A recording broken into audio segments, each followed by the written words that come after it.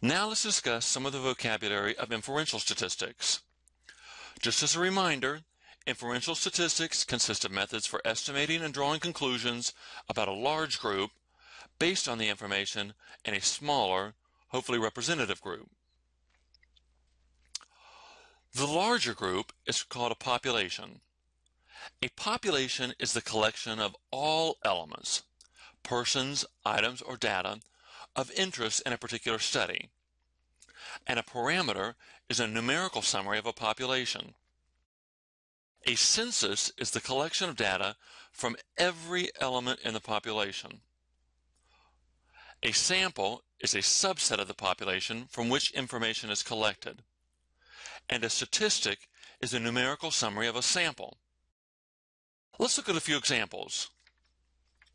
In each scenario, try to identify the sample and the population. A psychologist is concerned about the health of veterans returning from war.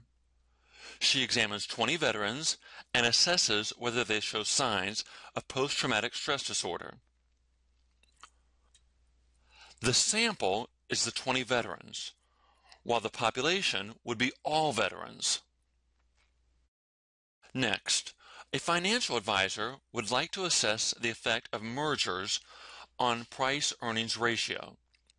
She collects data on 50 companies that recently underwent a merger. The sample is the 50 companies that recently underwent a merger, while the population would be all companies that recently underwent a merger. According to the Department of Transportation, 60% of all automobile passengers wear seatbelts. This is based on a survey of 1,000 automobile passengers, of whom 600 wore seatbelts. This is a sample of 1,000 passengers. The population would be all passengers. Finally, based on an experiment involving 68 students in a statistics class, a researcher concluded that students who eat a donut immediately before taking an exam score better than students who do not. The exam average for students who had a donut was 104 points. This is a sample of 68 students. The population would be all students. The average of 104 points comes from a sample and therefore is a statistic. If the results of a sample are not representative of the population, then the sample has bias. We want to avoid bias as much as possible. Good data collection can help. If you realize that the pool from which you choose your sample is not the intended population, you may need to revise your conclusion. Let me explain. Perhaps the psychologist is interested in all veterans, but selects a sample from a pool of Gulf War veterans then the population is Gulf War veterans and not all veterans. And in the seatbelt example, if the survey was conducted exclusively in the U.S., then the researcher should be specific in defining the population and clear in his or her summary.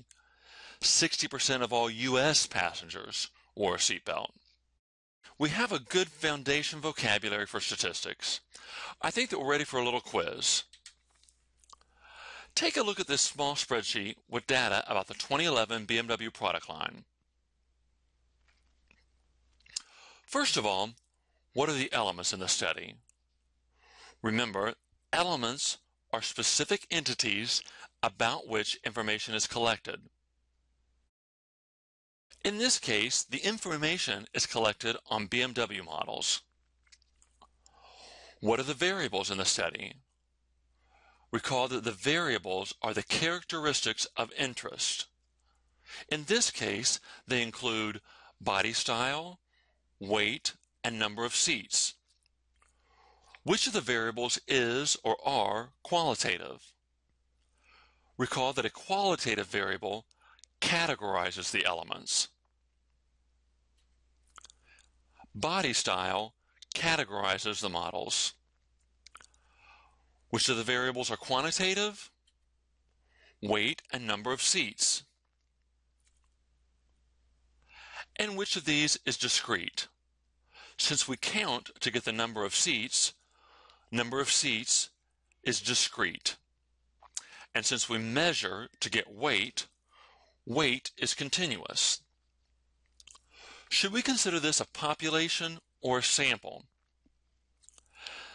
Since this is every BMW model from 2011, it's a population.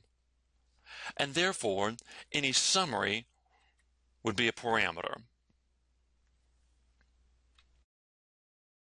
Here's a summary of the vocabulary that we've discussed so far.